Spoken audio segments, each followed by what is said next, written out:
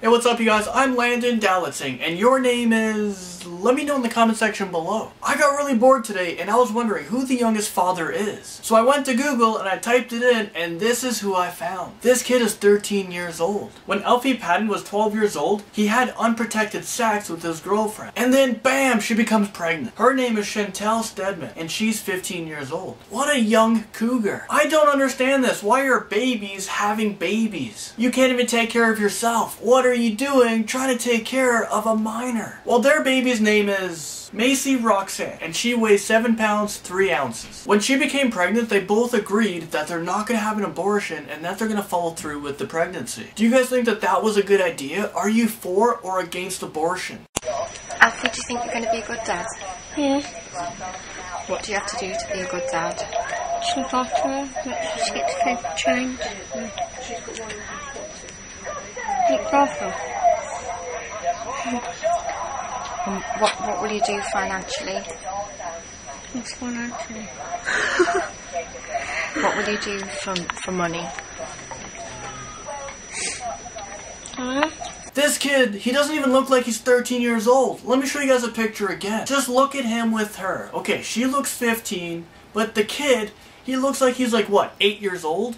Do you guys agree with me? How old do you guys think he looks? You know how we have like those DNA tests? Well, I want a freaking age test on this guy. Okay, so we have the test results right here, and you are not 13 years old. Holy crap, how does someone see in this thing? You guys are just one big blurs. Getting back to the story, I don't know if this whole thing is like one big parenting failure, but this kind of things, it just shouldn't happen. I talked about a video about a nine-year-old girl becoming pregnant. I mean, how is this even possible? People are growing up way too fast. If you're, if you're a young kid watching this video right now, just enjoy life. Stop having sex at such a young age. Don't worry, buddy. You will get there one day. So I'm talking about this 13 year old kid who is the father of this baby, but guess what?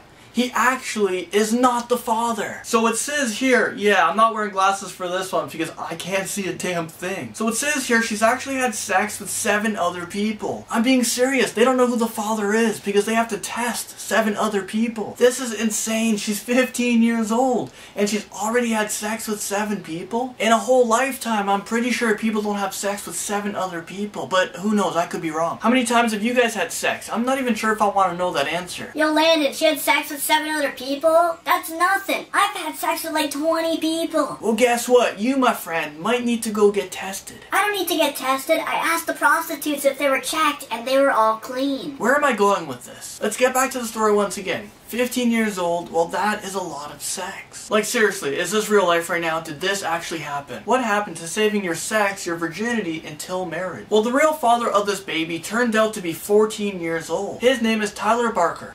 What the hell? Why does shit keep popping up? God damn it.